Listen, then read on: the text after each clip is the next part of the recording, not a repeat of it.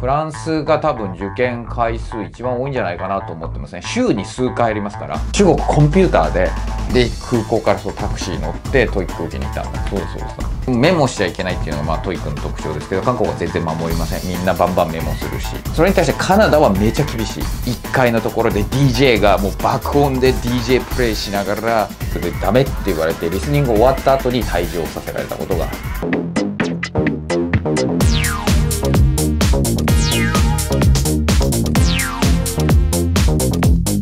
とい、で始まりました。モンテチャンネルです。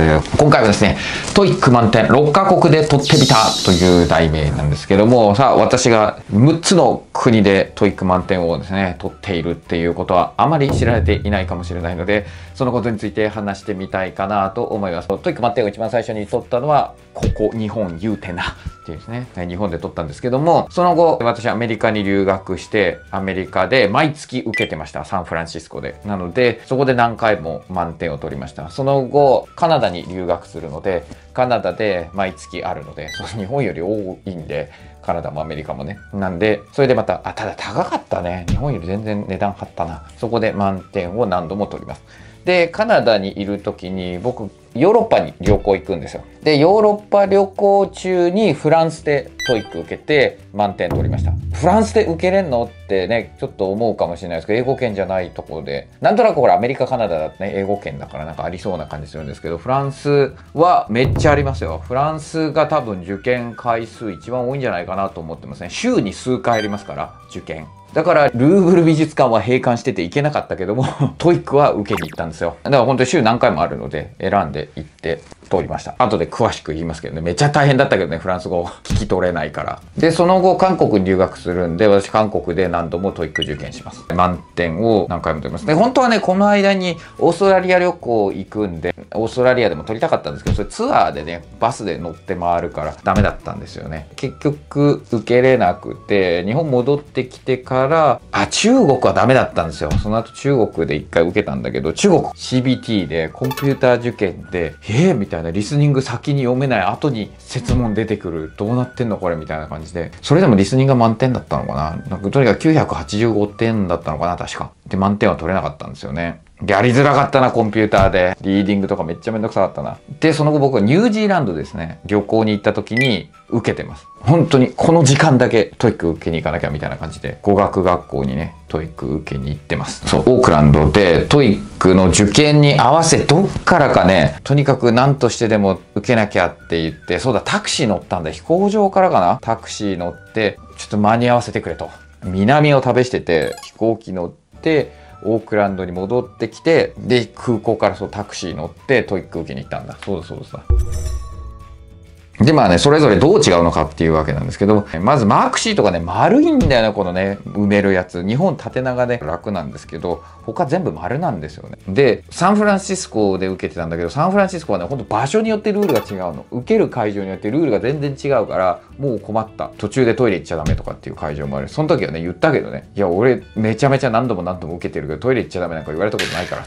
って言って行ったの覚えてるしあともう試験官もねほんと適当な人が多かったね。超厳しいところもあればもうずっとパソコンこうやって打ってる人もいれば全く試験官が部屋にいないっていう会場もあるしもう本当にバラッバラだった。本当にねルールが違うの。語学学校とかなんだけど大体。受ける場所によってルールが違うっていうのですごく嫌だった。それに対してカナダはめちゃ厳しい。全部なんかね決まってんだろうね。でバンクーバーいたんでバンクーバーはもう1箇所しかないんで受けるところ。で持ち込めないし鉛筆鉛筆。も持ち込めないしね。そこにある鉛筆しか使っちゃいけない消しゴムも。なんかカンニングがあったらしくて前に。だからそういうのも一切持ち込み禁止になったっていう話です。だ超厳しい。ID チェックとかもめちゃめちゃ厳しかったしリスニング中にまあ日本も今なりましたけどリスニング中にリーディングの問題を解いちゃいけないっていうのは、ね、昔日本は容認されてたんですよ。リスニング中にリーディングの問題解いてもいいみたいになってたんだけどカナダはもうね絶対ダメ。もうそのリスニング中にめっちゃチェックしてるのこの試験官が。で、リーディングやってないかっつって、リーディングやってたらもう退場みたいなね。で、まあカナダの一番の思い出はいろんなところで言いましたけど、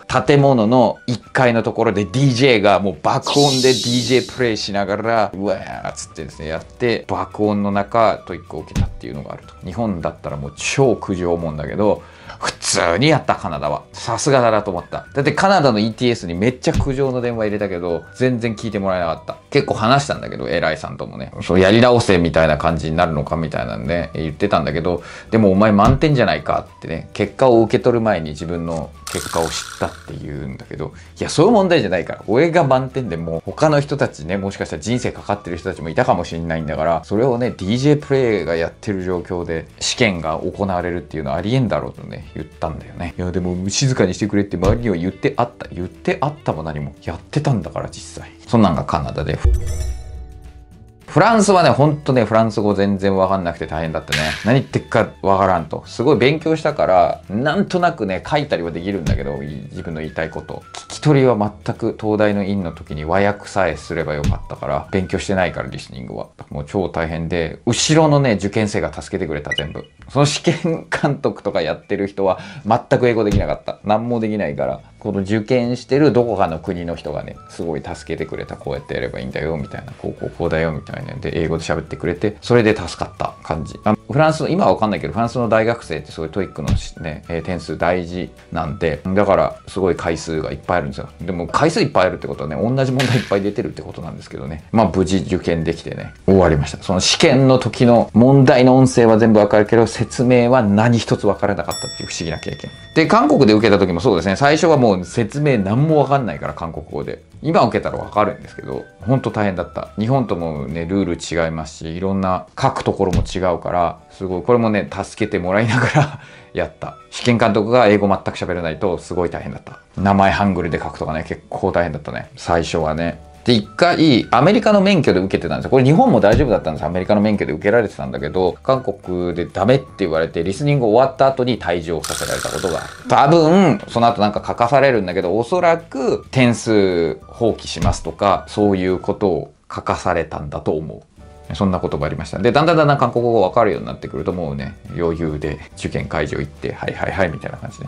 必ず、あ、そう、中学校とかなんですよ、会場が。でも決まってるの。その席の数も決まってるの、教室の。全部同じなんですよ。全国どこでも多分おそらく同じで、もういろんな学校に行ったよね。それで、外でね、必ず鉛筆を売ってるおばちゃんがいるとかね。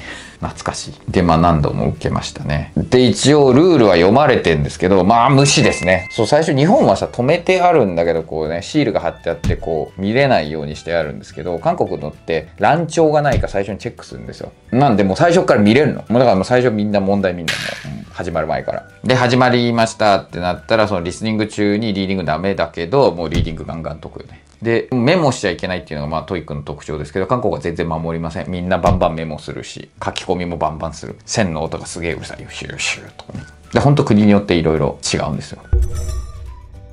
で、最後ニュージーランドは、そう、さっき言ったように飛行機でね、急いで行って、ラウンジみたいなとこで待ってたんですけど、すごいなんかもう日本人たちがいっぱいいた。明日帰るんだよねとか、誰々は来週帰るんだよねみたいな。1週間とか2週間とかのステイの人がいっぱいいて、いや、それじゃあ全然英語なんかできるようにならないぞって思いながらね 黙ってましたけど。で、受けた時は日本人はいなかった4人かなんかで、なんか韓国人とどっかの国の人こう離れて4つ座ってね、やったんですよね。で、その、ね、結果返ってくる時にね、その語学学校の人からメールが届くんだけど、そこに Congratulations って書いてありましたからね、もうそうそう、満点、すげえみたいな、満点取ったやつなんか初めて見たわみたいなね、そんな感じで書かれてましたけど。という感じで、まあだからいろんなね、これから国で取ってこうって思ってたんですよ。そういう計画を立ててたんですけど、まあ台湾とかも結構 TOEIC重要なんで、まあ、台湾で自分の本自体売られてるんで台湾でも取ってきたいなって思ってて思ったらそうですねこう海外に行くこともできないしそれどころかね日本国内ですら受けるのがめちゃくちゃ大変な状況になっちゃってるわけじゃないですか。いやこんな風になるなんてねほんと誰が予想したっていう状況なんですがまあこれからもですね満点を取りに行きます。まあねこれ全国のね試験会場で、ね、47都道府県で受験するとかってやってる人はいるんですけど私はもうほんといろんな国でやりたいので